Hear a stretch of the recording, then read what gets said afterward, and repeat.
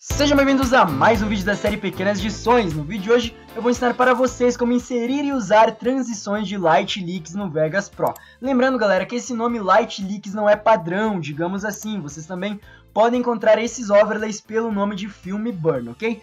Bom, para quem não está entendendo muito bem o que eu estou falando, Light Leaks, como a própria tradução diz, são vazamentos de luzes. Então, deixa eu abrir aqui um exemplo para vocês entenderem bem como que funciona, ó não passa de luzes piscando aqui na tela que você pode utilizar como transição. E geralmente isso aqui é utilizado, galera, em clipes de música, em vídeos de casamento, essas transições com light leaks, e não em uma gameplay. Então você não vai utilizar isso aqui numa gameplay porque não vai fazer muito sentido, ok? Bom, vou mostrar para vocês como inserir isso aqui no Sony Vegas. Eu tenho esse projeto aqui com esses quatro vídeos, ok? E a gente vai colocar essas transições passando de uma cena para outra, beleza?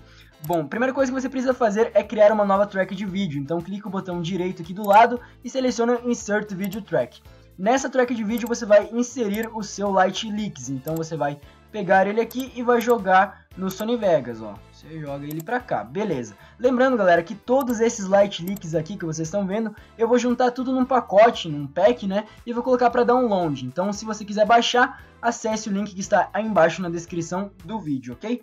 Bom, voltando aqui para o Sony Vegas, a única coisa que você precisa fazer para esse Light Leaks ficar, digamos assim, que certo, é trocar o modo de composição da sua track. Então vem aqui do lado em Composition Modes e troca para Screen ok? Trocando para screen vai tirar, digamos assim, aquele preto e vai ficar uma coisa muito bonita. Essa transição com Light Leaks fica uma coisa muito show para você utilizar, principalmente em vídeos aí de clipes, ok? Dependendo da cena que você tem, ok? Deixa eu colocar outra aqui, porque basicamente é isso, galera. Vou pegar essa aqui de número 3, que é bem legal, uma coisa mais bonita.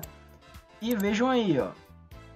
Vocês também podem colocar aqui, galera, um fade in e um fade out. Ou seja, pega aqui no canto, ó, que aparece esse arquinho, você puxa ele para cá. Aí vai criar um fade in. Você pode colocar aqui no final também um fade out, para ele ir acabando aos poucos, ok? E aqui vice e aqui começando aos poucos, ó, aqui já fica uma coisa mais bonita. Claro, depende do Light Leaks que você tem também, ok? Esses Light Leaks aqui que eu tenho não são muito bonitos, eu vou procurar na internet alguns outros para colocar junto no pack, ok? Deixa eu colocar algum outro Light Leaks aqui no final também pra gente encerrar essa videoaula, porque não tem muito o que eu ficar mostrando para vocês, galera. Esse vídeo aqui é mais como uma dica rápida, ó. Aqui no meio do seu corte, ó, tem um vídeo e o outro, aqui onde que tem o corte, você deixa mais ou menos o meio do seu vídeo, ó, mais ou menos aqui, do seu vídeo não, do Light Leaks no caso. Então deixa mais ou menos ali e coloca aqui um fade in, um fade out, dependendo do Light Leaks que você tem.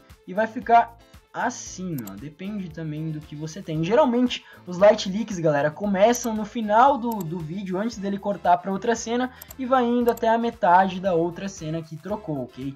Então, esses light leaks aqui que eu tenho são um pouco mais curtos, ele já é mais direto na transição, ó, ele serve mais como transição mesmo.